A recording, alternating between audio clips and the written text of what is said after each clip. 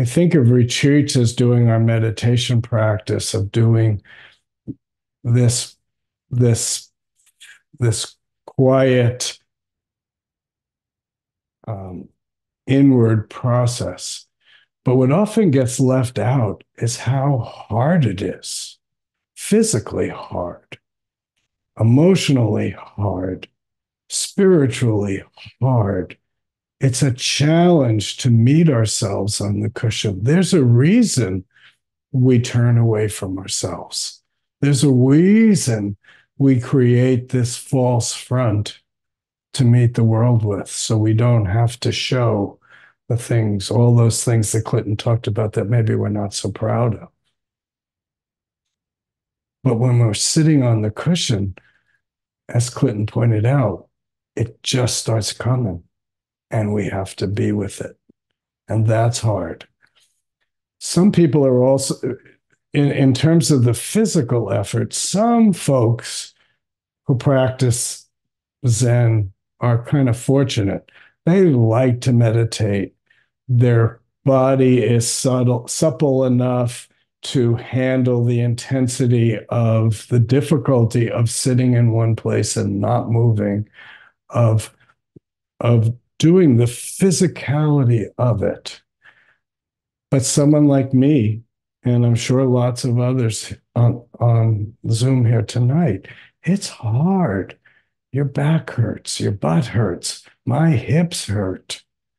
Sometimes the knees hurt, the back hurts.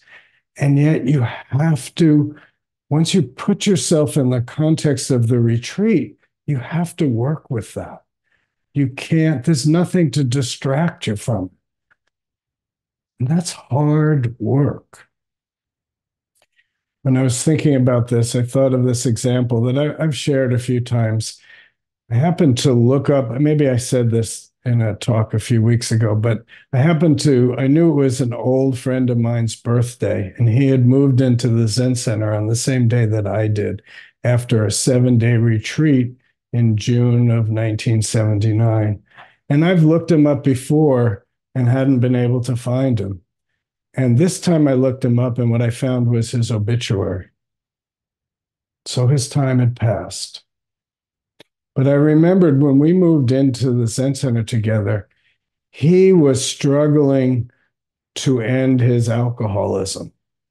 And his body was ravaged by the life that he had lived in the 60s and, and, and 70s. And those of us old enough to remember that understand what that means.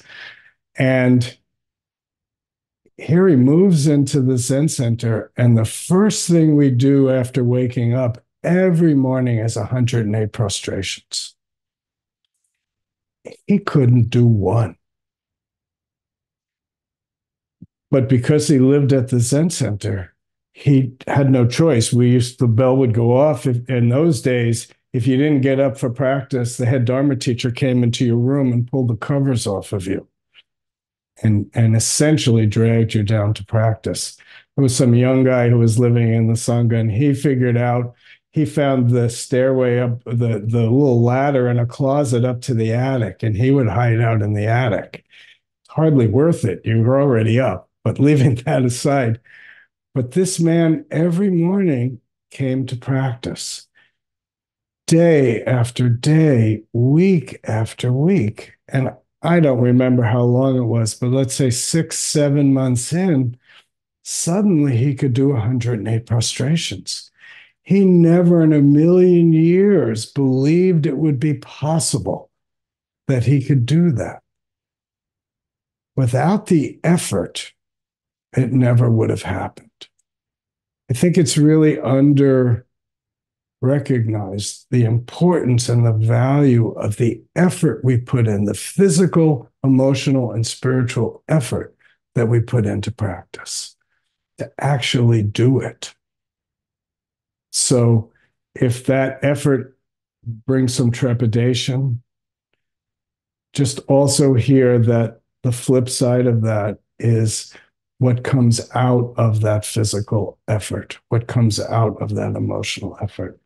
We find that we're not what we think we are. And in some ways, that's the basic awakening of Zen. We find out who we thought we were is not who we really are. And generally, who we think we are is a much more limited and truncated version of who we really can be.